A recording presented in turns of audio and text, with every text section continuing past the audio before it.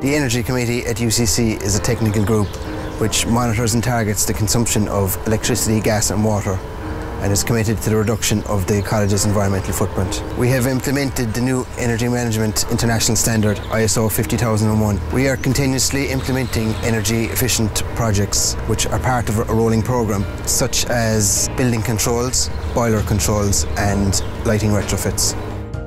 The office monitors energy on a monthly, weekly and daily basis in order to tackle the challenge of rising costs and consumption reduction. All significant energy users such as boilers and chillers are maintained in line with manufacturers' requirements and best practice. We have found ISO 50001 to be extremely helpful in pointing us in the right direction with regard to fine-tuning our procedures. And as a result of this, we have made huge energy savings, especially in boilers.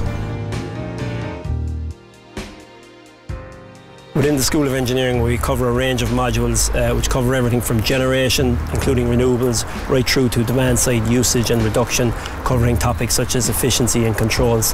These modules are broadly taken by all our engineering undergraduates, which include civil electrical process, as well as energy undergraduates and postgraduates taking the Sustainable Energy Masters course. The university has recently implemented a number of renewable energy projects.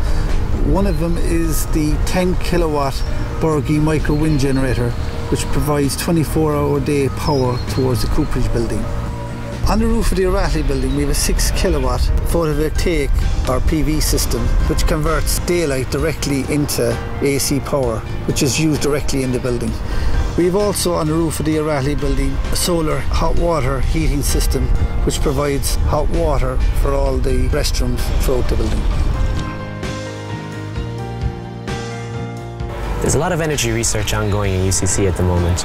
The particular project I work on is fault detection and diagnostic systems in HVAC. We do a lot of industry collaboration and work at the development of uh, energy metric systems uh, with particular emphasis on environmental uh, efficiency reduction.